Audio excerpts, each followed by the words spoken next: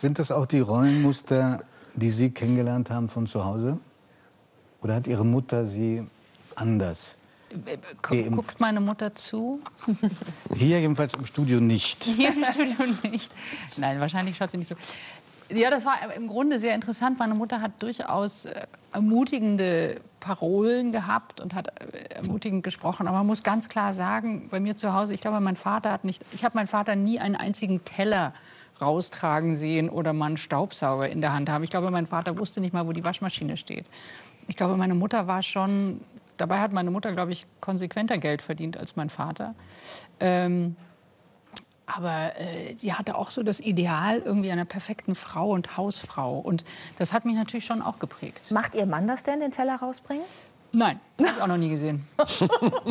Doch, vielleicht. Einmal. Bin ich ganz sicher.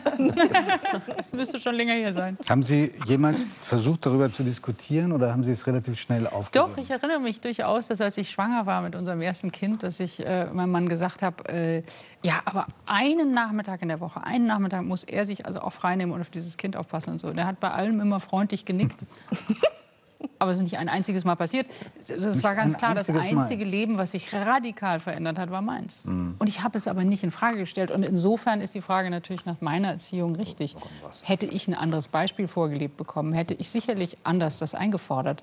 Und das hätte vielleicht auch geklappt.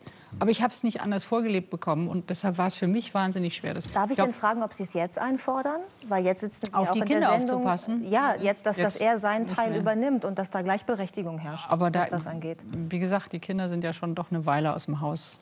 Da hat er sich dann aber gut drum rumgeschlagen. Da hat er es wahrscheinlich irgendwie gut erwischt.